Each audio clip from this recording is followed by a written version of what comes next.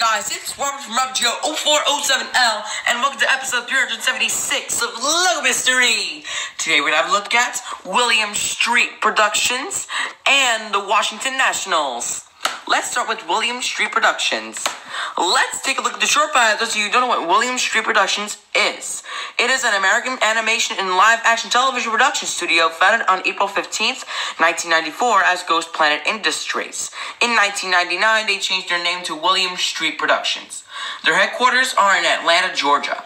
Its key people are Keith Crawford, SVP slash GM, Jason DeMarco, SVP of the creative director on air, Ollie Green, VP Animation Production, Chris Hartley, VP on air production, Mike Lazzo, EVP slash creative director, Adult Swim, Kim Manning, VP of programming, Walter Newman, VP of original series, Liz Pate, VP of Adult Swim Games, and Cameron Tang, VP of development. It's, what it's, it is currently owned by Warner Brothers. Now, without further ado, let's get started. 1994 to 1999, as I said here, this started as Goats Pla- sorry, Ghost Planet Industries. So here we have um, probably a house. It kind of looks like, or maybe a street or buildings. I don't know. And then here we have the words Ghost Planet Industries. Um, 1995 to 1999 also. Um, 1995, um, they also introduced the inverted version that following year. And finally, 1999 to the present, um, uh, their name changed from Ghost Planet Industries to William Street. And now these are seven other versions. I can't explain. I can't explain them to you all because they look the same. And finally, we will move on to the Washington Nationals.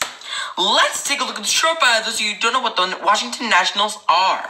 They are, oh my god, this is a typo right here.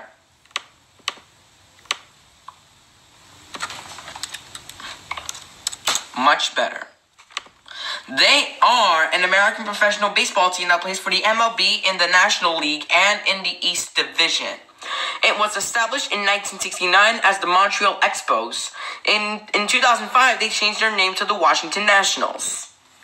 Note that once you see the current logo, it'll it'll it'll it'll make you think that it looks like the Walgreens logo.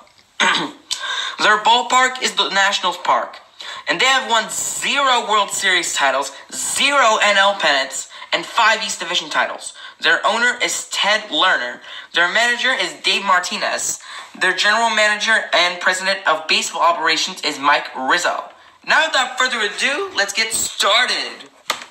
1969 to 1991.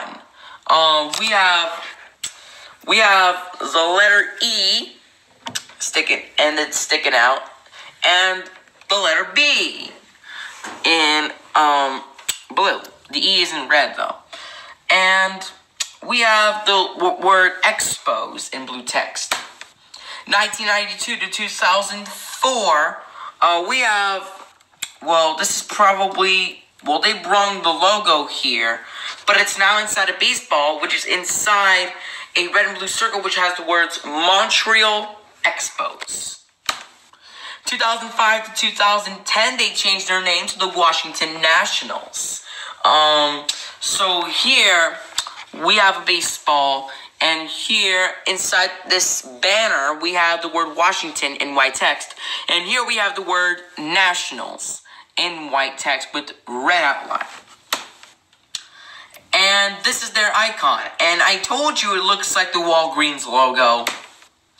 And this is another icon version. And finally, 2011 to the present, we have the W, which I said before, looks like the Walgreens logo. And here we have a blue circle with red stars and two other red circles. And yeah, we have the word Washington Nationals and white text inside of this circle.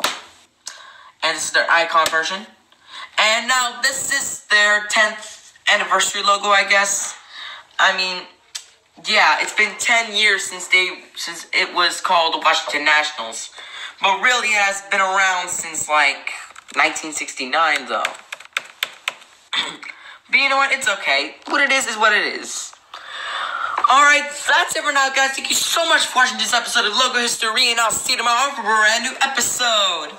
Stay tuned for episode 377 The Colorado Rockies. Bye bye.